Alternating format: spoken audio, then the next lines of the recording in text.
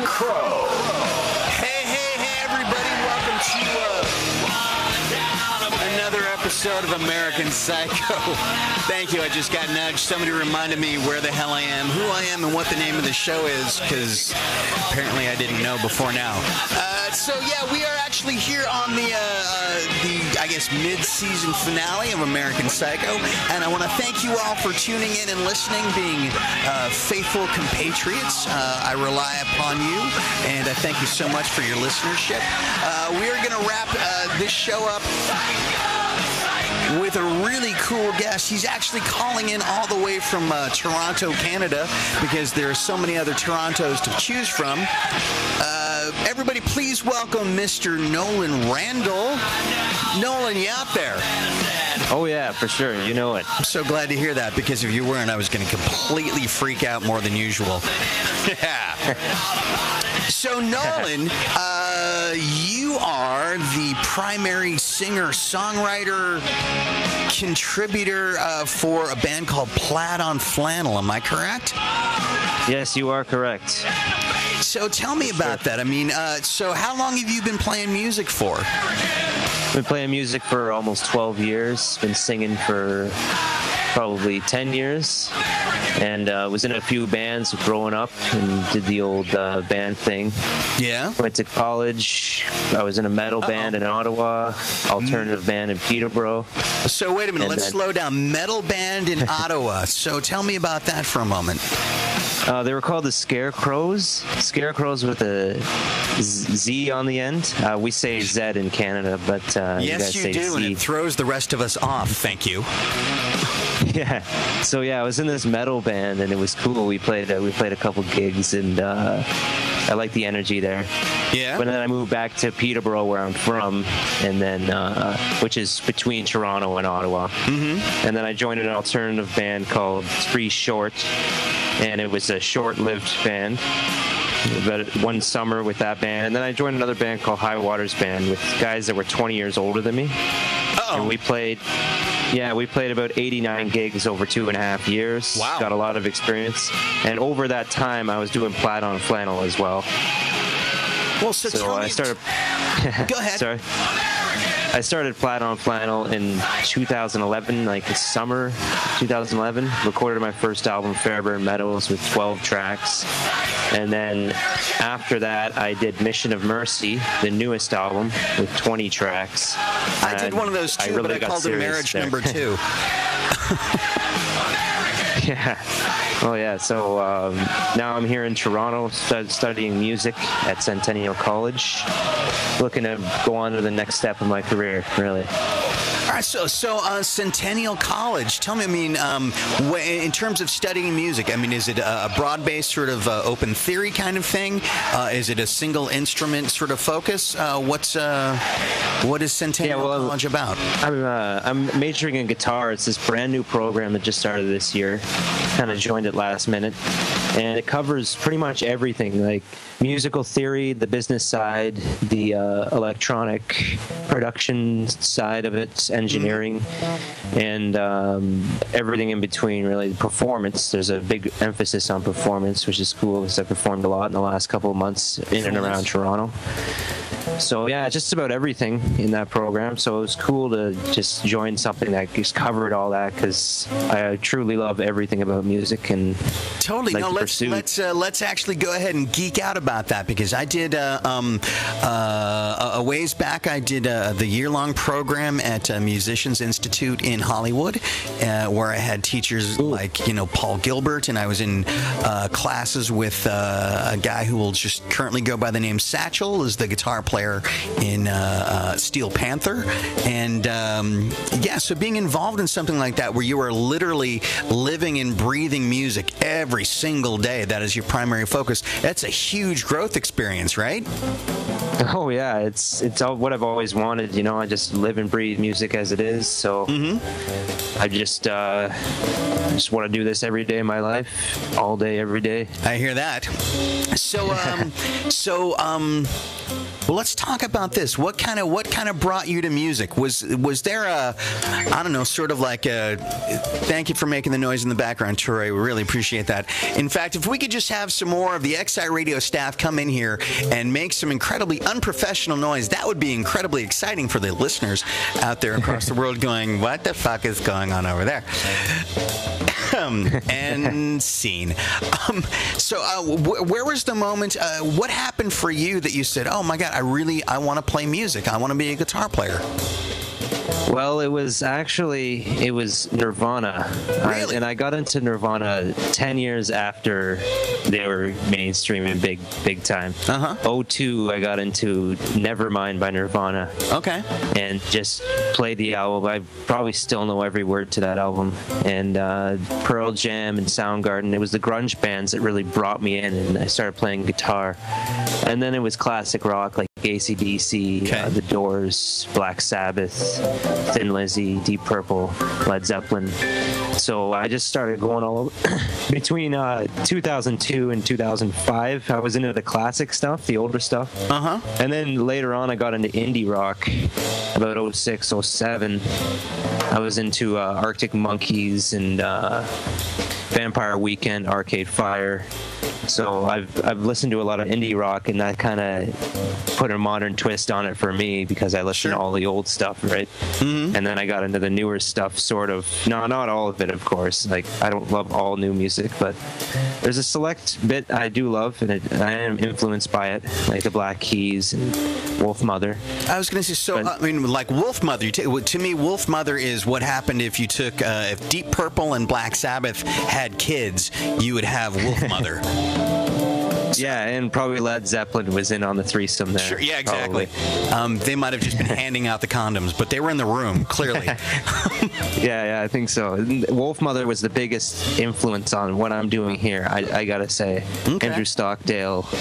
Um, I, Wolf Mother made perfect sense to me when I when I first listened to them in 2006, I think, and that kind of that kind of gave me ideas on what I wanted to do So because me- I have this kind of voice that's Uh-huh. similar to his. Well, let me ask you, because I mean, I, I honestly don't know what happened to Wolf Mother, because they were sort of there for a moment, and they seemed to be like really kind of making some waves, and then sort of like Keyser Söze, poof, they were gone. Uh, exactly, usual suspect. Exactly. I like that. um, So any uh, idea what happened? Yeah, they they were there's they actually broke up, but uh, they came out with an album in 2009 called Cosmic Egg, Okay. which was also a great album. Not as publicized as their first album. Clearly. I loved it. I listened to it a lot, and I was like, why why the hell aren't these guys massive? Like, why aren't these guys like the biggest band in the world? and I think if, uh, if I had a nickel for every time I heard a band, know. and I was like, what? How, how come? Yeah, I hear you. I'm sorry. And so then Andrew? Stockdale, lead singer, had a solo album come out this year. Yeah. Called Keep Moving. Okay. And I'm still being influenced by his music to this day. You know, I, I got that album and it was cool. The album's called Keep Moving. So I, I knew in my mind I needed to keep moving in my music career. And that brought me to Toronto Gotcha. from okay. Peterborough. So um, I will ask you this because in terms of how you're talking about um, sort of what you latched onto uh, being sort of the, the, the grunge era and then getting back into the uh, older, more quote classic stuff. And I actually I kind of hate that title because it, it, it I don't know it makes it sound like it's old and somehow irrelevant. And actually I think it's always incredibly relevant. Um, but there's a gap in Yes. there. Was there any of this stuff in the 80s? I mean, there was you know the whole hair metal thing. You get bands like Ratt and Motley Crue and of course Van Halen and stuff like that. Did any of that ever ever speak to you? Yes, actually, you know what? I should have put Van Halen in the mix of the uh, the, the quote unquote classic artists I listen to. And Motley Crue, of course. Yeah, I'm a big fan of their work. Uh, down tune guitars. Right. I started getting into that when I got into metal. Mm Um, big fan of Metallica. I got into them in uh, the 2006. Mm-hmm. So yeah, I'm kind of all over the place. You know, I like the '80s. Um, I'm not. I'm not a big fan of the uh, the electronic. I, I do like electronic, but I like the heavy sound of guitars, which is why I, I stick stuck to the, uh, the guitar-based bands like Motley Crue and Guns N' Roses. No, all those I. I, I agree. I mean, I've always um, I've always liked some of the interesting rhythmic things that can go on electronically. I mean, you go all the way back to bands like um, I don't even know it's a band, but you take. Uh, groups like Tangerine Dream or Kraftwerk, Yes. and sort of like I mean, really, you, you go back to the roots of that. In fact, even uh, you take a listen to Gary Numan and stuff like that, and how that is actually. I mean, if you you can't possibly, at least I don't think, listen to Gary Numan uh, a, a track like Cars, and then fast forward to Nine Inch Nails with Closer, and the same kind of arrangement with the kind of uh, musical breakdown at the end, and not draw connect the dots. That if we're not for Gary Numan and Cars, you probably wouldn't have Nine Inch Nails and Closer. Yeah, or or Depeche Mode. If we're, we're for Depeche Mode as well, and Depressed mode. Depressed mode. Depressed Mode, or uh, New Order. Right? A couple of those bands. Yeah, I like, and I also like progressive rock, like uh, Emerson, Lake and Palmer, Uh huh. And Genesis. Yes. All right, so I'm going to throw a complete left wing as you're talking about uh, number one. Uh, any thoughts about Marillion? Marillion. Yeah. Um, what's? I'm sorry, I, I'm That's not sure what Yeah, that is. Uh, Marillion was a band out of the UK. Um, they had huge success actually uh, overseas. They had minimal success in the US, um, specifically with uh, they had one hit called Kayleigh, um, and that one is very near and dear to my heart. So much so that I, I named my daughter Kaylee. Um, Really? Yeah. But uh, they were very, um, very Genesis. Uh, in fact, a lot of people accused their singer Fish of being a Peter Gabriel uh, clone. And there's some times that I've heard it, but uh, not so much. But uh, since you mentioned mentioned prog rock, I, I figured I would ask. But then also, um, uh, are you familiar with Eddie Jobson? Eddie Jobson. That's, that's another name I I'm not familiar with. Welcome to school. so Eddie Jobson, he was actually the keyboard and uh, violin player for UK, and it was him and John Wetton on uh, uh, bass and vocals, and Terry Bozzio on drums. Some, I mean, just very, very. uh, It, they put the capital P in progressive. Um, so Really? that- yeah, and and Eddie Jobson did. Um, he he was uh, he he did a solo record called Zinc that uh, you gotta go look at and find, or I'll find a way to send you some files. Some really, just incredibly. He actually was really kind of leaning close to sort of a, a great blend between that very progressive kind of sound, and yet it was kind of hooky and kind of poppy at the same time. It was almost confusing. Um, Yeah. But um, yeah, that would be that would be something to check out. Oh yeah, I'm writing all this down for sure. Uh, yeah, definitely uh, Jobson and Zinc, Marillion. I got it all Marillion, written down. Um, so, uh, in terms of guitar players, um, who were some of the guys that uh, uh, that that really spoke to you? And Well- surely we're going to play some of your music, and so you're going to be tested. okay. Well, obviously Hendrix. Ultimate, Sure. And uh, Stevie Ray Vaughan. for sure. Yes. Like, the, I like I, I like my philosophy on guitar playing is I'm not trying to be really fast or trying to be really strong. I'm trying to be something in between. I'm trying to play for strength and for speed. Yeah, I got and you. with and I use thicker strings on my guitar. I heard you were a musician, so I figured I'd talk about uh, guitar. Absolutely. No, we can So- we can geek out thoroughly. We're going to get into gear in a moment, just because why the fuck not? Yeah, so Stevie Ray Vaughan, obviously, his strings were very, very heavy, very uh, meaty. that guy, from what I understood, and this freaked me out because I'm like, I'm not. I'm. I mean, I, I've played for years, and I consider myself a decent player, but uh, I am certainly more into the lighter, slinkier strings. And I always heard that Stevie Ray would play with these really heavy strings, and not only were they heavy strings, which for those of you out there that don't play, are a lot harder to sort of get your hands on, but he would also play with a much, much higher action off of the neck. And once again, if you're not a guitar player out there, it makes it a lot harder to play. And that guy apparently was sort of like if you found what are all the things that every other guitar player would say would make it impossible to play, he went, Oh, I'll do that. Yeah, exactly. Well, the action is kind of like a dobro thing, eh? Yeah. Like, uh, it would be good for slide guitar. I know a few of his slide songs are awesome. I, I know if I was to ever have the action like him, I would use this. I would use it for slide work. I, I got never actually playing.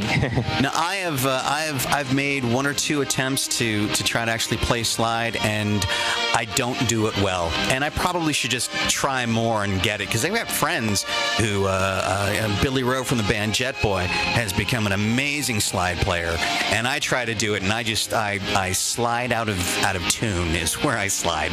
It's just, Yeah. it's just bad. Similar kind of thing. Are, um, are you a fan of Gary Moore? Gary Moore, yes. Um, I'm not. I don't know a lot of his stuff, but I've obviously uh, heard of his stuff and uh, seen a little bit of that. Certainly, I mean, But, he, uh, I mean, he cut his teeth as one of the original guitar players in Thin Lizzy, and he was another one of those guys who would use really heavy strings with a, an unbelievably high action, and that guy just feel and soul and heart for days. And then He when played he, played a Les Paul, right? yep, Yeah, for sure. and when he wanted to, he could just rip like a beast. You'd be going, "Oh my god, I'm gonna go home now and just practice." Yeah, for sure. Yeah, uh, Thin Lizzy stuff is just amazing. I like. Well, they had another guitarist too, right? They had the uh, kind of the dual guitar thing going on with Yep. the uh, harmonies, which I love. That was that was very influential for artists like Metallica, Uh-huh. uh, Iron Maiden. Yep, Sure. definitely. No, I mean definitely. You can you can uh, easily draw a connect the dots from uh, from like Thin Lizzy to Judas Priest to Iron Maiden to an extent early Thin Lizzy. I mean there was definitely uh, excuse me early Def Leppard. Um, uh, th- yeah, I mean that that sort of two guitar thing and how do you how do you take the music and you orchestrate it so that it's not just two guys playing the same thing constantly. It's like well we got we got twice as many notes as we had a minute ago. What do we do? Yeah. Well, uh, I saw Iron Maiden last year. Really? They have they have the three lead guitarists, and they could all shred like crazy. It, Uh-huh. it was just insane. It was like you couldn't decide who was the best guitar player in the band. It was just ridiculous. Yeah, I mean, and, and at that point, no need to. I mean, I know that. I mean, for me, um, I mean, I love Dave Murray, and I can't pronounce the name of the other guy because he came in a little bit later. There was a period of time when Bruce Dickinson left the band, but for me, Adrian Smith in, in Iron Maiden, he always he had a melodic sense that just completely just hit me in a way that neither one of the other guys did. But that's you know, that's one man's opinion. Yeah. Oh, well, he had a lot to do with the song writing and composing as well. So Mm-hmm.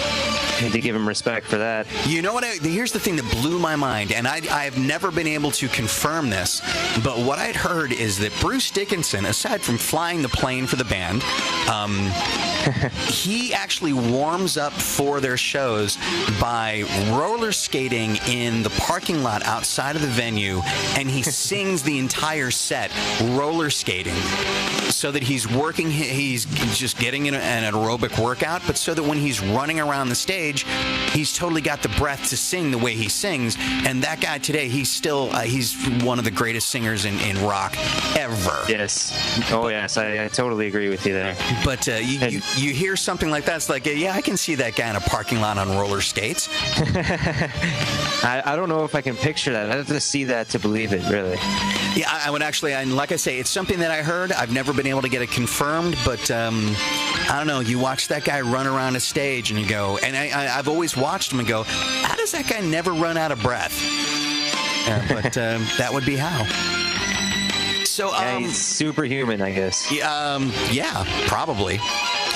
Um, so what about okay? So you get into um, I don't know. get- I guess sort of the the more typical guitar hero kind of names, etc. Guys like uh, Steve Vai or, or Joe Satriani. Um, thoughts or feelings on guys like that? Yes, I I do like I do like those guys. I I read about them a lot in uh, guitar magazines and all that. But um, they were more of an instrumental kind of guitarist. Right. I like. Uh, I don't know. I guess I like the guitarists that are in the bands that have the singers and they songwrite and everything. I like. I like kind of the all right, all round guitarists. I hear you. But I do love those guys. And you mentioned Paul Gilbert earlier. You said Yeah. you were you were associated with him. Uh, I got to. Uh, he was one of the teachers at, at GIT when I went there, and that guy, that guy used to just absolutely kill me because you would you would go into like these dinky rooms, and he would play this chord progression, and then he'd go, "Oh yeah, it's this Beatles song backwards," and he'd be like, "This song." He goes, "This song is great." He'd play it, and he goes, "Yeah, it's Eleanor Rigby backwards," and you'd go, "Get the fuck out of here." he put his own twist on it or something. Completely. Yeah, um, that was, uh, uh, but that was, and so it actually blew because at the time he was more known for stuff like Racer X and things like that. And then to hear that what he really cared about was the Beatles and Todd Rundgren, and he was really into 70s pop rock. He, all that guy really cared about was hooks. But then if you carry that forward and you think about, well, how much did he write for Mr. Big? And, you know, the, the fact that he really was a, a pop songwriter, he just could happen to play a guitar with an electric drill with picks on the end was sort of an add-on. yeah. Well, I, I, like that. that. That is cool. That is a nice, diverse way to uh, jump into the musicality of everything. Yeah, that's that's cool. So let's do this. Um, let's uh, let's dive into a, a, piece of your music, and we go, can go into some more um, music and guitar-oriented talk, so that we try not to completely. People out there going, "We don't play guitar, do we? Really want to hear this?" um, so we're gonna play a track of yours. Um, again, the band is called Plaid on Flannel, uh, and uh, this is a song. I, I believe this is uh, the initial release off of your your current working. This is a track called competition. Yes, it is. And uh, so let's uh, let's play this, and uh, we will come back in a few minutes and and talk a bit more. So everybody, once again, this is uh, Nolan Randall. This is his band Plaid on Flannel. The track is called Competition. Check this out, and uh, we will back be back shortly uh, with some more American Psycho.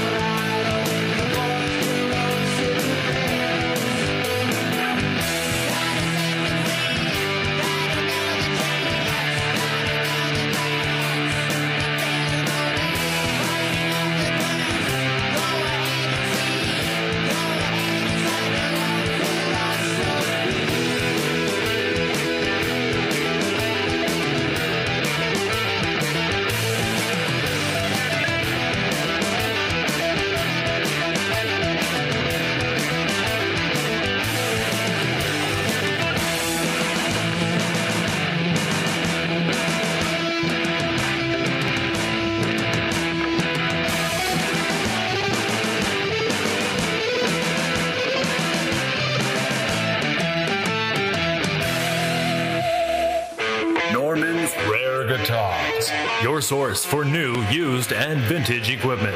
Carrying acoustic, electric, guitars, bass, amps, banjos, mandolins, accessories, apparel, books, and memorabilia. With popular brands from Danelectro, D, Delta, Epiphone, Fender, Gibson, Gretsch, Hill, Hofner, Martin, Biernick, Olympia, Rickenbacker, Roland, Steel, Taylor. Visit normansrareguitars.com or stop by our Tarzana location at 18969 Ventura Boulevard. The pro shop here, you should too. Norman's Rare Guitars. Welcome back to American Psycho. We are on with uh, Mr. Nolan Randall from the Bad Plaid on Flannel, calling in all the way from Toronto, Canada. Am I right there? Yes, you are correct. All right, so we're going to take a brief uh, hard left turn uh, before we get back to uh, music and uh, actual relevant talk. But I just I have to ask this because it's in the news, and I'm going to ask you the bold and blatant question that I think a lot of listeners out there, probably across the planet, are, are asking themselves: Nolan, what the fuck is up with your mayor? I honestly don't. I, I don't. I don't get into it too much, but I think there's a lot up with him. But they're saying that he's probably going to get voted in again because of this this whole thing. Really? And everybody's saying now that he's so honest in everything, but he denied the allegations for months. Like this story's been going on for almost a year now, right? So uh, I remember it was probably like in the spring or maybe the winter, last, like that we just passed that this whole thing came up and they had a video of him smoking crack or whatever. so he denies it, and then all of a sudden, like a couple weeks ago, the cops say they have they have the video and everything, and all of a sudden he admits to it. And then yesterday, I think it was yesterday, he was being interviewed and he talked about he had this weird oral sex reference in yeah. inter- and obviously all, all, the social media was exploding after that happened but uh, I don't know. Some people are, uh, from what I see online, some people have mad respect for him. And they think he's cool or something. I don't know. But I, I actually I find that confusing. It's sort of like going, you know, it's I, am really I'm so happy that my elected official has admitted that he's an absolute junkie. Gee, I think I'll vote for him again because his willingness to be honest, the fact that his decision making is bad, means I should allow him more decision making.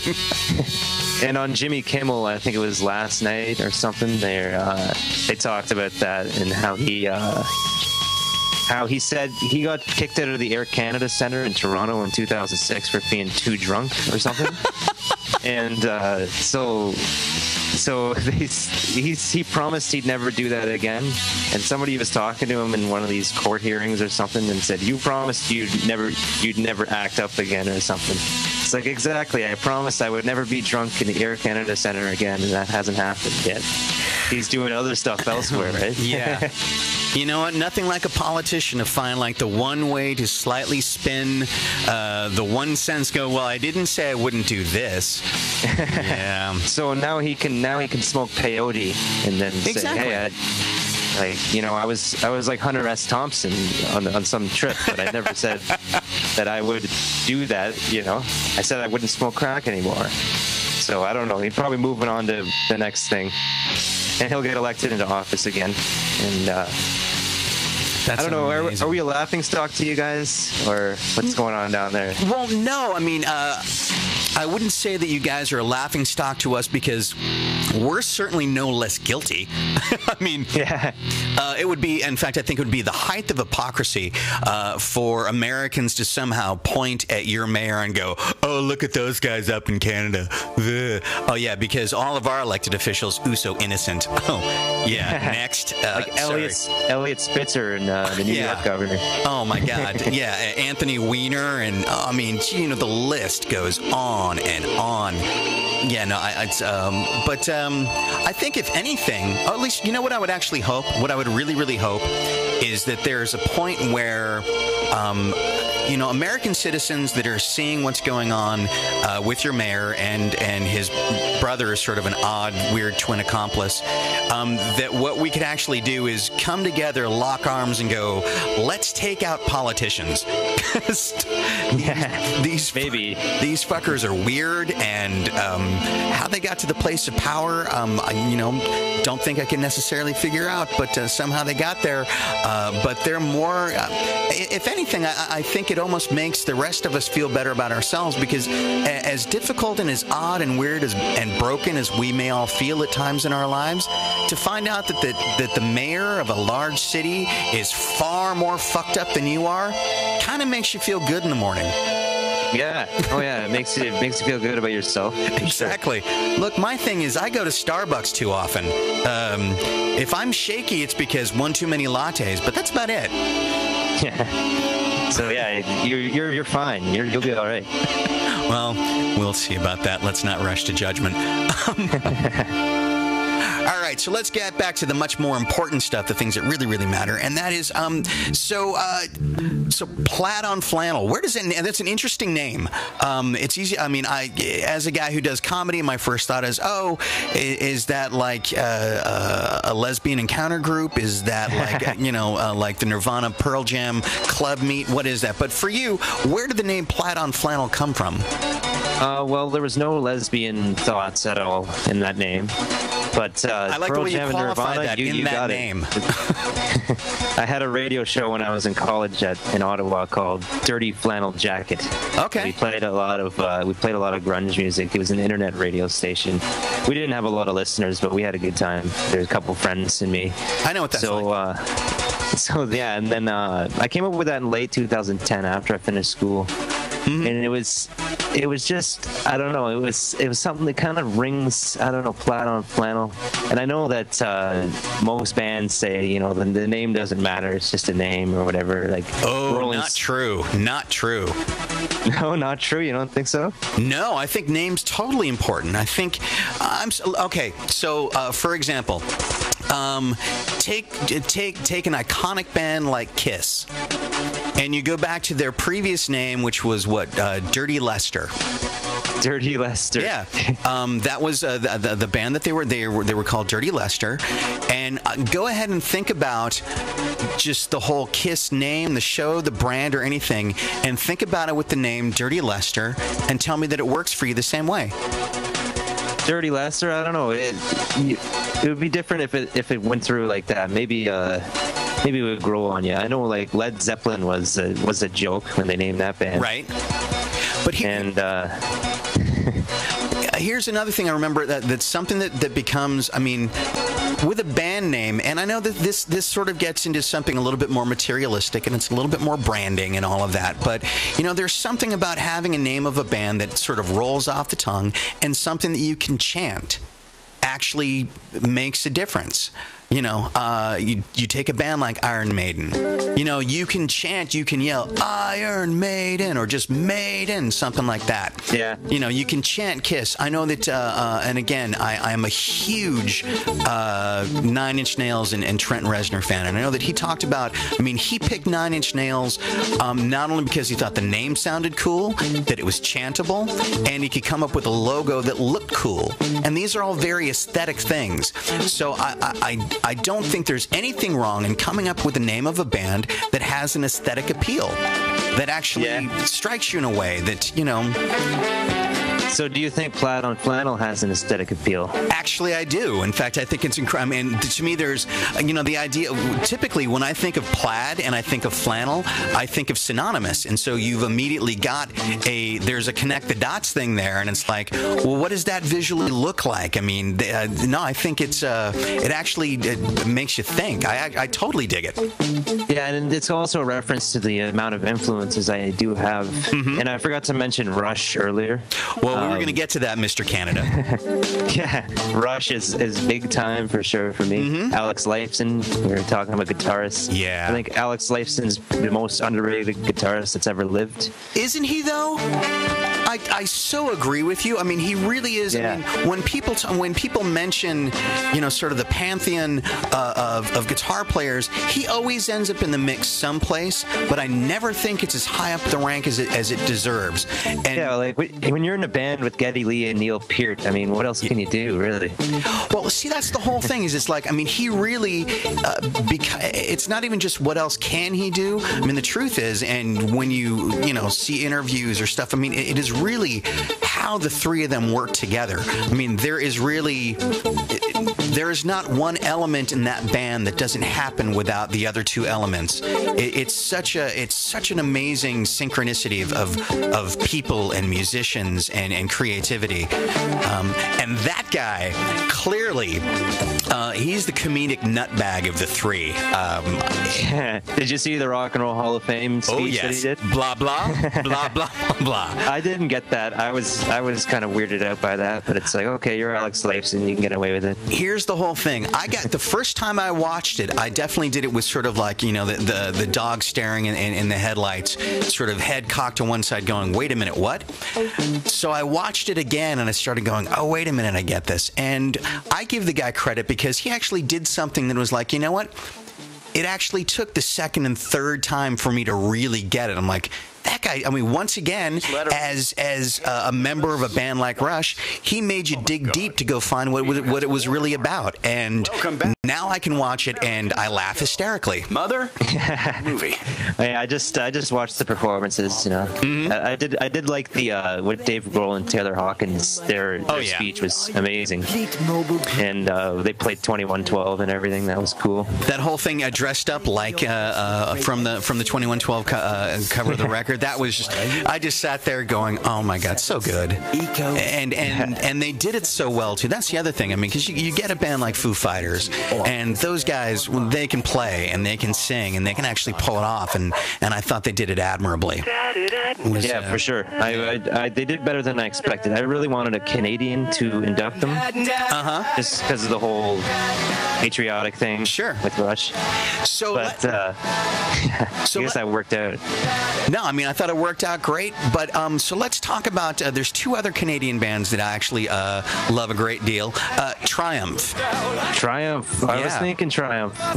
yeah, I am a big fan. I actually did a presentation on Triumph for school. Really? Just did a huge research paper, so I got Triumph fresh in my mind right now. No, I big think time. they were. In fact, I saw them. Uh, I saw them play. I think it was on the. Um, God, what tour was it? Um, Oh my God, I'm completely drawing a blank. Um, Allied Forces. There you go. Thank you. I saw the Allied For- Forces tour, and oh my God, just I mean, how phenomenal. Um, and I never, I, they always, I mean, they hit a certain level in the states, but it never sort of hung on. I mean, they actually got to they they played the US Festival on the same show with uh, with Van Halen and Motley Crue and Judas Priest and everything. The Scorpions. Yeah. But yeah, uh, that for sure. And um, any any knowledge of uh, um, what those guys are up to, where they're at? Well, actually, I met Rik Emmett, the lead singer, the guy who sings, yeah. plays guitar, and I met him this summer, and really? he tours solo. Yeah, I met him at a at a concert in Peterborough called Peterborough Music Fest. Got a few pictures with him and uh, talked a little bit with my band that was I was in. And he also teaches songwriting and music business at Humber College in Toronto. And then the drummer Gil Moore runs a studio in Mississauga, which is right beside Toronto, just mm-hmm. west of Toronto, called Metalworks, and it's the biggest studio in all of Ontario. Uh, big artists have been in there like Drake, Christina Aguilera, Guns N' Roses, a um, bunch more, like Tina Turner. And uh, so he runs that. He keeps busy there. So they do their other things, but they did reunite once. I don't know it was twice in 2008, and they played. Uh, they played Sweden. They played a festival in Sweden and then a festival in Oklahoma, and that was it. They were pretty big in Sweden. Like they had, a, they have a huge fan base in Sweden. That was one of the big ones. So yeah, I don't know if they're gonna play again, but would love to see them. I mean, what a power trio they were. I mean, they're in, I was just saying, they were. They're, I thought. That, I mean, they were incredible, and yeah, I mean, they were uh, the, the very definition uh, of a power trio. Um, three guys. I mean, in the same way that, that that Rush is, it's like, okay, wait a minute. There's three guys up there. Where is all this music coming from? And it's like, well, it's coming out of these three guys, and the the strength and power of it, and great songwriting too. And I mean, above and beyond just the musicianship of it, uh, just a lot of heart and a lot of feel behind it it, and and Yeah, I, the lyrics, the Yeah. lyrics too. I love the lyrics. yeah. I'm sorry. Go ahead and listen to "Fight the Good Fight," and don't feel like getting up and waving a flag and kicking somebody's ass or something. Go and try it. I dare you. Oh yeah, it's it's amazing. And Never Surrender is Uh-huh. also, also another one like that. Um, obviously, big Lay It on the Line fan. Yep. Yep. Hold on. And yeah, they, then- they did a lot of good stuff. and then just for sheer at the, um, the amazing Rik Emmett showing his his his guitar prowess, you know, on, on the guitar breakdown on Rock and Roll Machine, which was I mean he was really doing that in a time where there was a lot of guys that were doing. Sure, there was a lot of guitar shredding that was really just starting to come out, but Rik Emmett still had this very um, a much a much more purist. Um, I wouldn't say bluesy, but there was a jazzy element to it. Yes, Um, classical as well. yeah, totally classical and and, and like who, who else was other than maybe Brian Setzer? Who else was playing a hollow body? No one. Alex Lifeson. That's true. All right, That nailed was that was the early days though. That was the early Rush days. And he moved on to his Strat. yes, yes, he did. for sure. So cool. So um, let's do this. Uh, I want to play more of uh, Plaid on Flannel because I really dug that last track. Um, let's do. Uh, all right. Um, I know you'd mentioned emergency, but when we were talking earlier, there was a, a, a lilt in your voice. There was an, uh, an leaning towards this track, The Rambler, that I think we need to play it. So um, we're going to do uh, once again uh, here on American Psycho. We have got Nolan Randall, and we are going to play uh, his track again. The band is Plaid on Flannel. This is the track, The Rambler, and uh, let's check this out. Assuming the technology works the way it's supposed to.